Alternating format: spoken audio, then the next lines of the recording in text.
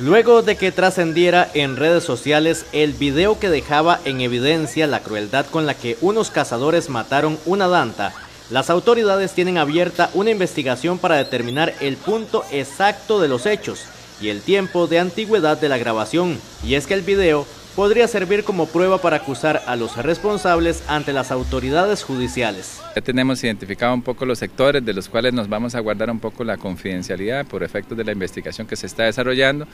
Algunos dicen que ese video data de hace dos años para acá, pero igual, digamos, ya estamos en las coordinaciones con el Ministerio Público y J para ver si a través, digamos, de, de esa prueba, que sería una prueba material, como es un video, si se podría llevar a los tribunales en este caso por cacería furtiva, ¿verdad? Que es un delito que está tipificado. Muy importante recordarles a toda la ciudadanía que cualquier acto en este país de cacería es ilegal.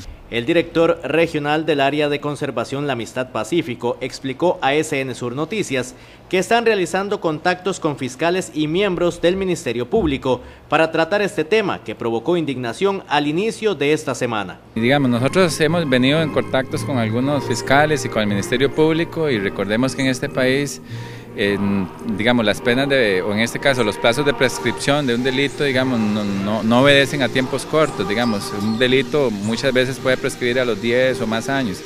Entonces creemos que si podemos determinar evidencia con el video y que si podemos en este caso, digamos, incriminar a un sospechoso, a posibles sospechosos, eventualmente podríamos levantar una causa. De ahí de levantar una causa a través de la Fiscalía, el Ministerio Público, a que el juez pues ya determine que la prueba es suficiente para condenatoria, es un parte del proceso que ahí se va a dar, pero por lo menos ya estamos en un proceso de investigación. El otro caso que también se investiga es la danta destazada en San Miguel de San Pedro de Pérez Celedón.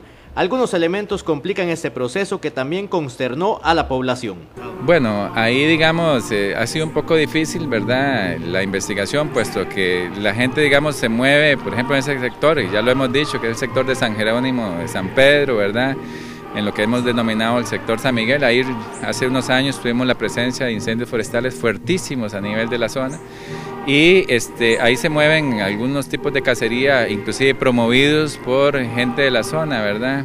Asociado a otro tipo de ilícitos que ahorita me reservo, ¿verdad? Por temas de, de confidencialidad. Ronald Chang también explicó cómo están realizando una investigación científica en torno a estos animales. También estamos desarrollando investigación científica que nos permite ver qué tanto se están afectando las poblaciones de dantas, que los resultados que tenemos es que este, para el caso de Talamanca es la zona más abundante, digamos, en, en, lo que es este, la danta, ¿verdad? El tapir.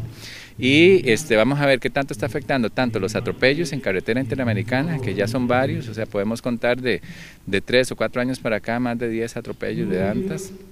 Y en el caso de la cacería furtiva, estos que hoy por medio de, digamos, de redes sociales nos damos cuenta y por medio, digamos, de los patrullajes nuestros, pero también hay que ver cuánta cacería ilegal se está dando que nosotros no nos estamos dando cuenta. Entonces, parte de esos son los estudios que estamos desarrollando y que lo estamos atendiendo de una forma muy íntegra. Dos casos lamentables y que están bajo investigación.